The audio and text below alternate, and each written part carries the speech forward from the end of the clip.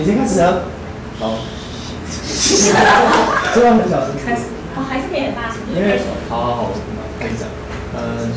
这其实刚开始我定主题叫在摄影路上，但其实我觉得定错了，应该是我在选择摄影这条的路的路上，因为我是最近才决定说，哎，我想要做摄影。我之前有想说，哎，我可能可以啊，我之前帮我们学校世新大学广电系有帮免过戏，然后呃去主持过，帮他们主持过，然后去参加过主持的比赛。但我最近才决定自己以后可能会走摄影，然后就要讲说我为什么会选择摄影这一条路。好，我是谁？哎，你们刚刚在大头贴跳出来的时候没有吓到吗？太大张了吧！我在我在世新大学的时候当过我们新闻报社是一个社团摄影部长，然后我们学校有校园记者，他就是一群人喜欢以后可能想当记者的人去帮学校做一个宣传是什么，然后后来就当他们的编辑摄影长，然后现在在风传媒当特约的摄影记者。然后我也跟那让他们一样当过呃事情广播电台的电台主持人，所以我是什么东西都尝试一下，尝试一下，因为我不确定，我一直不是一个，我不确定我的性向在哪里，所以我什么都摸一下，兴趣的性向。对，还有后来就去莫名其妙参加一个两岸的什么主持比赛，然后就得第一名。好，一开始我是怎么接触到拍照的？呃，其实我在高中以前，我就是一个读书的人，就是跟大家一样，每天跑图书馆啊，可是跟很多人一样吧，想升学的一样，每天跑图书馆，然后学上课的东西。但是我升大学暑假，因为那时候考完了，然后有整整很久的时间，两三个月没有事情做，就觉得好像要做个什么，然后就去逛书店吧，就觉得不如就学个摄影好了，因为它很容易的感觉，感觉你只要有器材，然后就拜托妈妈就买相机给我，她不要。可是我觉得现在，我觉得妈妈应该要。觉得很荣幸，他可以问。真的是那还没有那台相机，我就是没有我的现在很精彩的大学生活。所以我用了一个暑假时间，我就很认真买各种书哦，然后看他们里面到底是就是光圈快门一手去了解它之后，大学开始加入新闻人报社。好，后来我就部长之后，我就要介绍新闻人报社了。有他这个报社，他的摄影部嗯要拍锻造影迎新演唱会连。迎新舞会啊什么的，锻造营是一个办给高中生来呃认识事情的一个营队，然后那边可以学到很多东西。好，然后这是我第一次，那时候很幸运，我第一次可以拍夜店，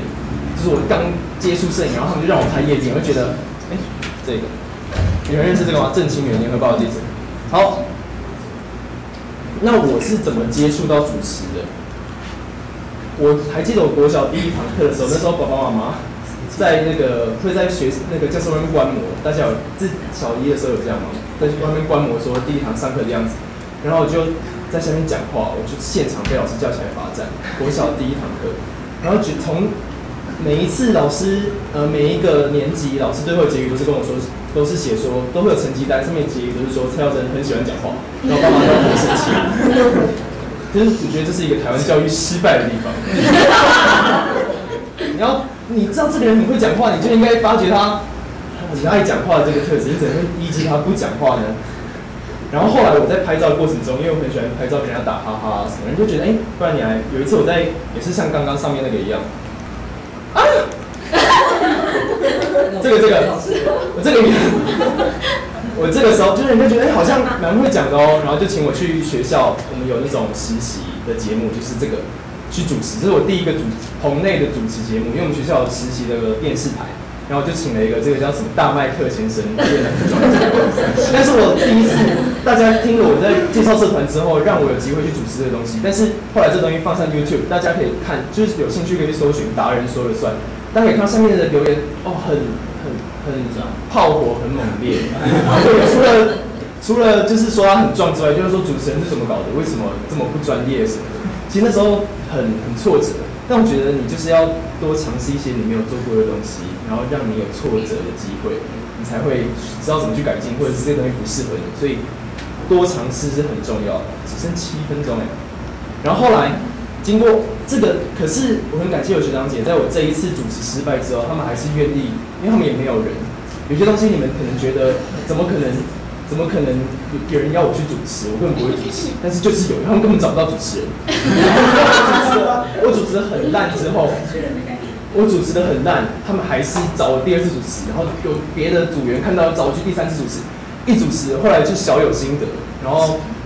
那时候老师说，哎，你主持那么多，不如你去报这个什么海峡两岸主持新人大赛，然后每一届第五届、第六届的冠军，第五届的冠军是一个正大的，然后第六届的冠军是也是世新的，那每一个都有很棒的成就，比如说五届的那个，他就去中央社，把中央社央视大陆的央视，然后类似。演那种《爸爸去哪儿》的节目，录了一整季，就因为这个比赛是第一名。然后第二个，他因为这个去台北广播电台，膝盖有点痒。然后，但是我呢，我到现在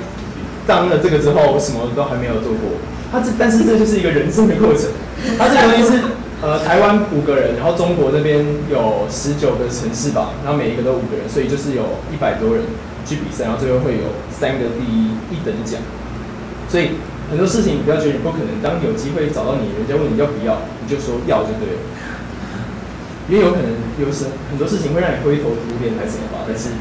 你不能去推掉它，因为你起码有让你灰头土脸的机会，比你每天过得很平淡好。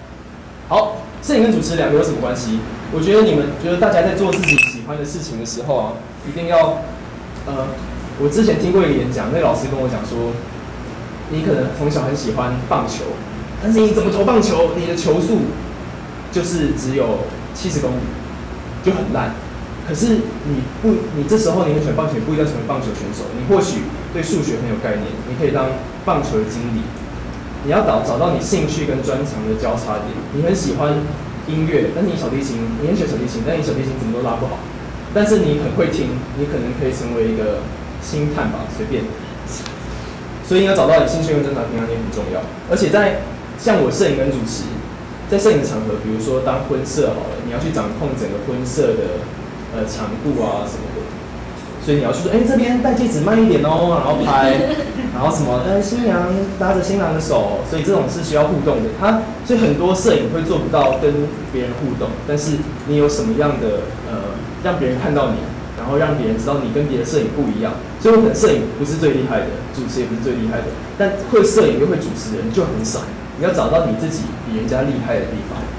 刘德华说张学友唱歌比我厉害，周润发演戏比我厉害，但是我演戏比张学友厉害，唱歌比周润发厉害。色色这个数学，我是读口语传播学系的，跟就跟嘉瑞、什么亮亮他们一样。但是要怎么突出你？我从大一开始我就拍各种不同的活动，然后你在拍各种活动的过程中，你会质疑自己的能力，因为开始，哎，为什么我拍的很差？所以之后你开始的时候，大家也开始想，张无忌在练那 个乾坤大挪移的时候，他一开始见山是山，但是他后来发现见山不是山了，但是他后来更强之后就发现见山就是山，这就是那个过程。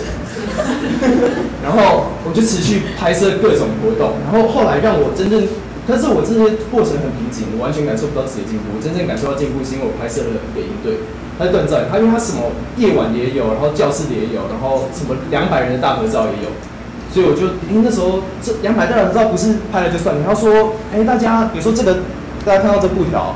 它不能有皱褶，不可以四星大学变成新大学还是什么的，然后呃大家要比一样的动作，然后说大家给我比一个呃赞，最烂的就是赞嘛，然后大家就会给你比赞，然后你要看大家头没有有露出来啊什么的，所以慢慢开始建立自信之后。大家要再，